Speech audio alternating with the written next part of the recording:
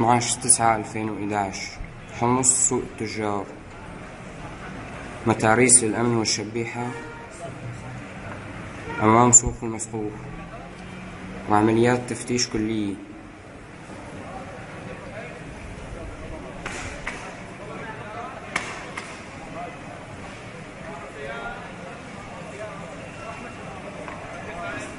شبيحة بشار الأسد الكلب.